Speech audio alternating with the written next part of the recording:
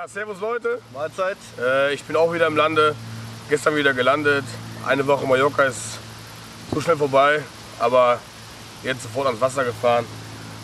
Alex ist mich besuchen noch gekommen. Die eine oder andere Flasche Bier trinken. Die letzte Woche wollte Alex mit mir nochmal Revue passieren lassen, die bei ihm ja ziemlich erfolgreich war. Ja, so ist es. Und ja, heute willst du ja auf jeden Fall dein Glück hier an dem kleinen Flüsschen versuchen, wo ich ja bereits, glaube ich, im Session-Blog, ich weiß jetzt gar nicht mehr, 17, 18 oder so, ähm, eigentlich auch ganz gut abgeräumt habe mit drei Fischen in einer Nacht. Und ja, du hast es ja auch schon mal hier versucht. Hat Also leider nicht nicht, so- ganz nicht so so geklappt, erfolgreich, äh, genau, nicht ganz so erfolgreich geklappt wie bei mir. Ich glaube zwei Nächte, ein Fisch war damals Ein bei kleinen, dir. äh, ein kleinen Schub, ja. Und dann Das bin ich, da bin ich nachher noch gemoved, bin ich nachher noch. Genau, da hast du ja gemoved und konntest dann doch noch einen vernünftigen Fisch dann landen. Ja, ähm, ich wünsche natürlich äh, hiermit auch auf jeden Fall ein dickes Bild Petri. musst du mir wünschen. ja, ich muss noch was raushauen, ne? Ganz genau. Ah, viel Zeit. Ich hoffe auf jeden Fall. Und äh, ja, ich weiß noch nicht, ob ich jetzt eine Nacht bleibe oder zwei Nächte. Gucke ich morgen mal, wie die Nacht läuft. Und äh, ja, ich werde mich auf jeden Fall später nochmal bei euch melden. Alex und ich wollen jetzt nochmal die eine oder andere Flasche Bier trinken, gemütlich zusammen. Genau. Und dann schauen wir nachher nochmal. Bis später. Und ich verabschiede mich schon mal. Bis zum nächsten Session-Vlog. Ciao.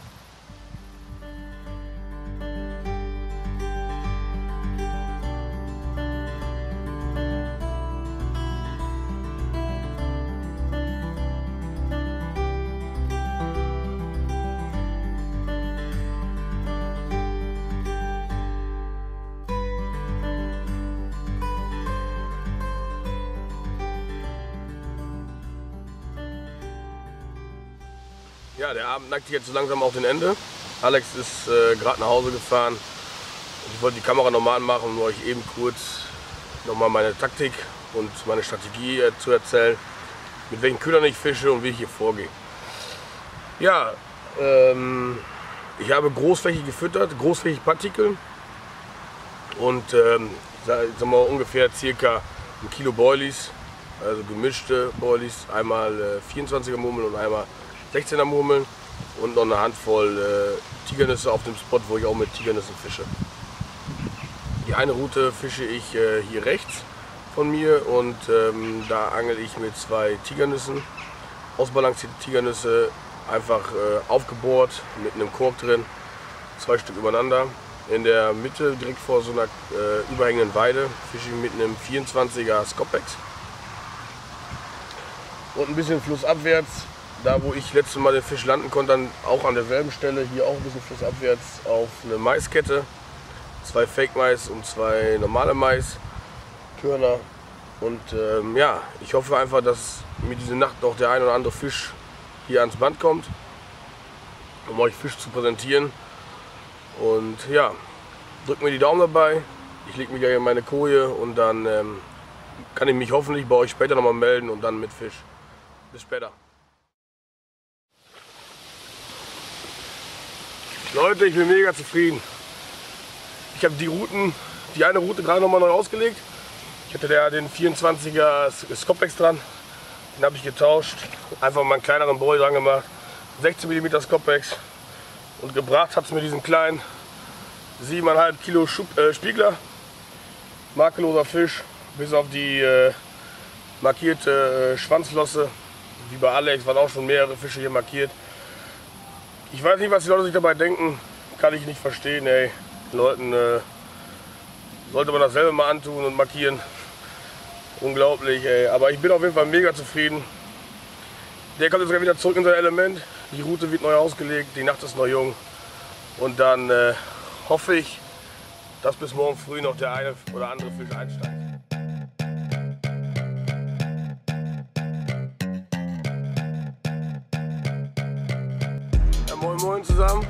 Wir haben jetzt äh, kurz nach halb sieben. Jetzt gerade noch mal ein Fisch eingestiegen. Ein äh, wirklich ganz, ganz kleiner Schuppi. Satzi. Wiegt noch erst gar nicht. Die wiegt irgendwie so um die anderthalb Kilo, zwei Kilo würde ich schätzen. Lassen jetzt wieder frei und äh, dann kommt die Route wieder raus und hoffen wir, dass er nochmal seine Mama schickt. Ähm, wieder auf den äh, Scopex gefangen. Auch hier direkt wieder unter, die, unter der äh, überhängenden Trauerweide. Da kommt die Route jetzt wieder drunter.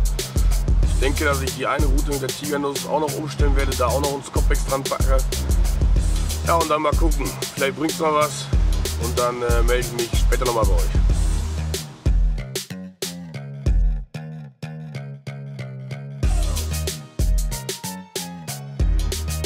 Ja Leute, was soll ich sagen? Ähm, die Route lag wirklich 20 Minuten oder so, lag sie wieder drin.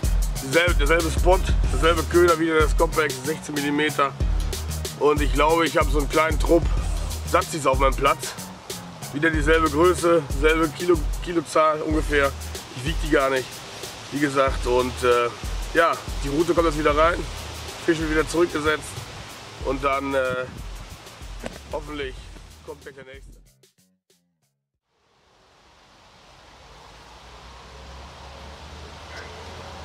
Ja, moin moin nochmal zusammen. Ich habe jetzt äh, gerade gefrühstückt. Wir haben jetzt, weiß nicht, ich habe mir auf Uhr geguckt. Irgendwie müssten wir so um die halb neun haben. Ja, zu der Nacht nochmal zu kommen. Heute, ähm, also ich konnte bis jetzt drei Fische, vier Fische landen insgesamt.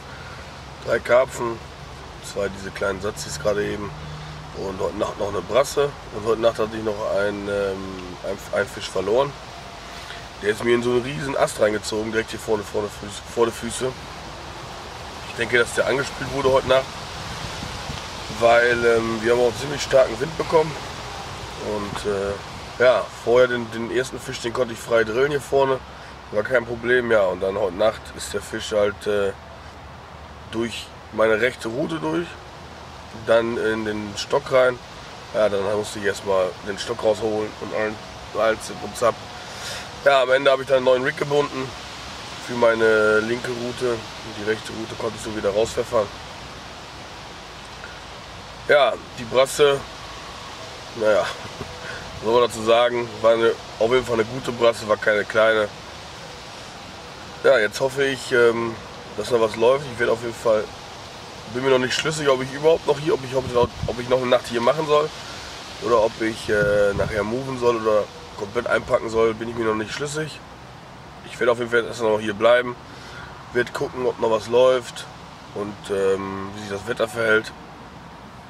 Und dann schaue ich mal weiter, ob ich hier wirklich noch eine Nacht bleibe oder wie schon gesagt, dann move oder nach Hause fahre. Ich werde mich auf jeden Fall nochmal bei euch melden. Hau mir jetzt noch mal eine Stunde oder was aufs Ohr.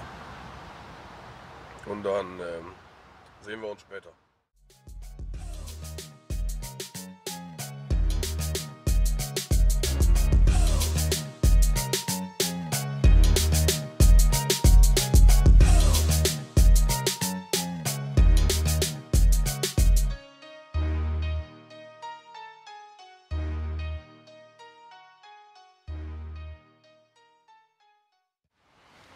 Ja Leute, ich bin jetzt langsam am Zusammenbauen, liege und so, die sind schon zusammengepackt. Gleich alles auf dem Carporter und dann äh, geht zum Auto. Ich denke, ich werde auch nicht mehr weiterfahren. Ich, äh, diese eine Nacht, die hat mir gereicht.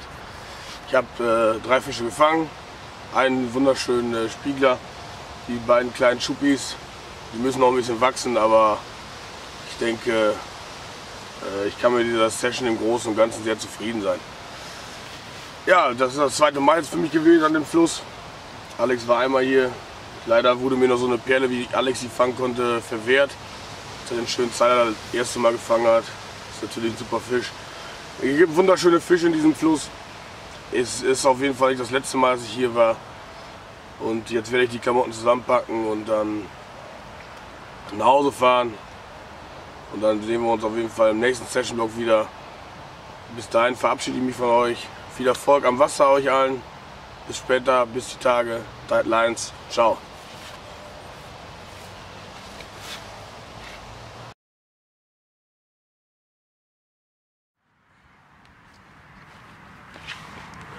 Ja Jungs, wie ihr sehen könnt, ich bin doch noch ins Wasser gefahren.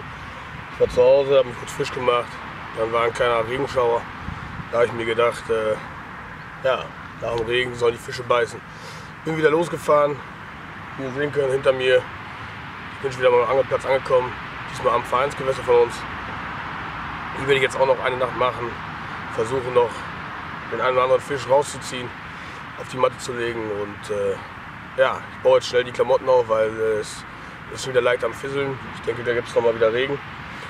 Fischaktivität habe ich schon gesehen. Fische schon gesprungen. Jetzt äh, wird Zeit. Schnell die Ruten raus, Klamotten aufgebaut und dann.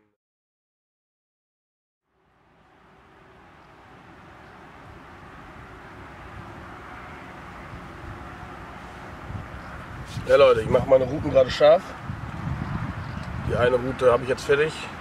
Ist wieder ähm, der Scopex dran, 16 mm. Ähm, bei der Route werde ich ähm, heute, also jetzt gleich am Anfang erstmal, ich denke, da die Fische so äh, am Beißen sind oder fressen, werde ich da so in die drei, vier Hände rumherum werfen. Sprich 20 Beutel ungefähr in verschiedenen Größen, 24 und 16 mm. Und die andere Route werde ich mit einer austarierten äh, Tigernuss fischen, also mit einem Stück Kork und innen drin dann äh, oben drauf dann ähm, Fake Mais. Ja, ähm, da werde ich allerdings nur Partikel füttern. Da werde ich äh, 10 ähm, Tigernüsse näher drumherum werfen und den Rest einfach äh, mit unserem, mit meinem äh, Partikelmix steht auf Mais und Hanf und ja, ich mache meine Routen jetzt fertig und dann bringe ich sie gleich sofort raus und dann hoffe ich, dass der erste Fisch nicht lange auf sich warten lässt. Meld mich auf jeden Fall nachher nochmal bei euch. Bis dahin.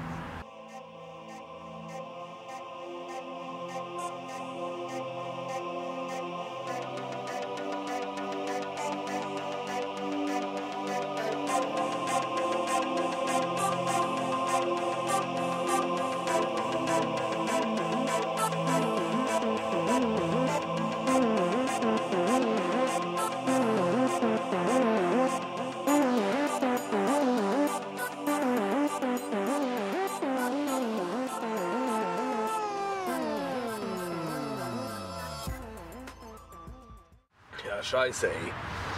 Gerade, wir haben jetzt 4 Uhr, ersten Lauf gerade gehabt, leider verloren. Ja, wie Alex ja auch letztes Mal schon erwähnt hat, ist an diesem See so viel Kraut und äh, ja, die Fische haben teilweise echt ihre Mäuler kaputt und dann ähm, haken die Fische einfach nicht vernünftig. Und ja, was wir machen, ne, man muss bald Druck aufbauen ein bisschen. Da wo ich fische, ist halt direkt ein ähm, toter Baum vor auch dann rechts davon sein Kraut. Allerdings war, war, war nicht im Kraut, war auch nicht im, im, im, Baum drin, war im freien Drill, aber wollte halt da rein. Und ich habe mal Druck aufgebaut. Ähm, ja, war ein paar Sekunden im Drill, 20, 30 Sekunden oder was. Und dann äh, ist er leider ausgeschlitzt. Naja, Route so wieder reingeworfen oder abgelegt beziehungsweise. Und äh, ja, ein bisschen nachgeführt, dann ein paar Pillen nachgeworfen wieder auf den äh, Scopex 16 mm und jetzt äh, hoffe ich mal, dass äh, auf jeden Fall noch einer an, anbeißt. Am liebsten natürlich äh, noch im Tageslicht, aber wir haben ja noch früh, 16 Uhr, Tag ist noch lang und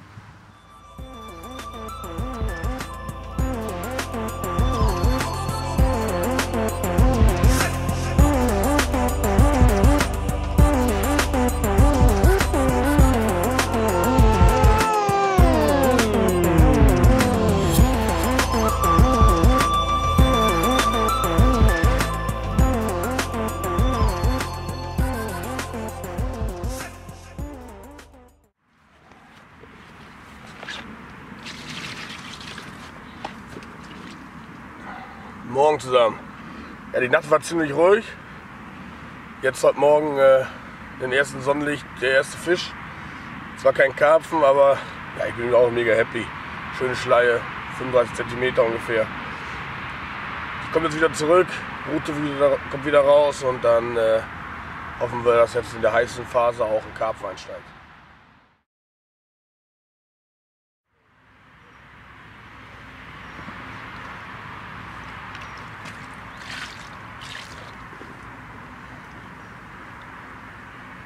Ja, jetzt hat es auch mit den Karpfen geklappt.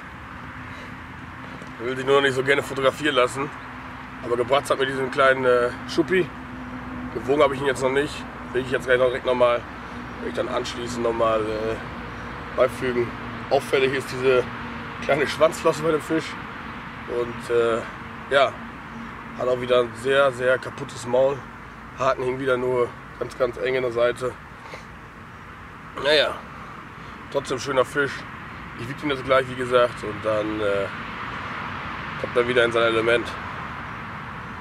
Schöner Fisch. Ist auf jeden Fall auch auffällig. Ich hätte hier auch oben am Kiemdeckel so einen weißen Fleck. Kann man sich auf jeden Fall schön merken, den Fisch. Wiedererkennungsmerkmal. Und äh, ja, also ich bin super zufrieden und jetzt kann es weitergehen.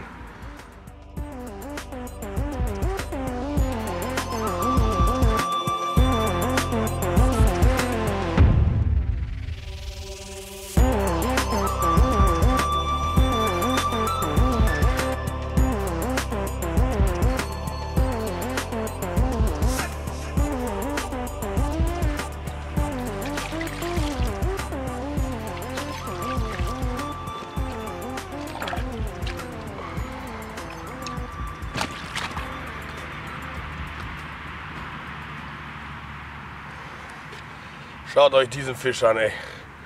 Mega Teil. 13 Kilo Schuppi. Richtig schöner Nacken.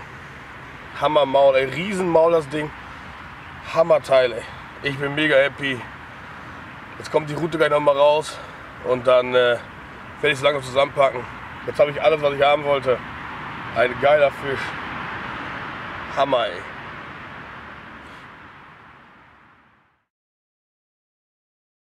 Ich möchte mich an dieser Stelle bei euch von diesem Session Blog verabschieden. Ich denke, ich kann sehr, sehr zufrieden sein, haben sehr gut gefangen. Ähm, die Klamotten sind jetzt fast weg. Routen sind noch drin, die baue ich jetzt gleich ab. Zelt, Hütte kommt gleich weg und dann ähm, kommen die Routen raus. Wie immer als letztes. Ja, ich wollte noch eben nachschieben, der äh, Schuppi, heute Morgen, der erste, der kleinere, der war 9 Kilo. Auch schöner Fisch. Ähm, ja, der 13 Kilo war natürlich der Obolus dann. Mega zufrieden mit dem Fisch, richtig geiles Ding. Ja, und äh, ich möchte mich jetzt, wie, wie gesagt, bei euch verabschieden von dem Session-Blog. Ich hoffe, wir sehen uns noch in einem anderen Session-Blog. Ob Alex und ich nochmal zusammen losgehen, wissen wir noch nicht, weil es steht jetzt auch ähm, Ende des Monats ja Frankreich vor der Tür. Und ja, mal gucken, wie wir das zeitlich hinkriegen.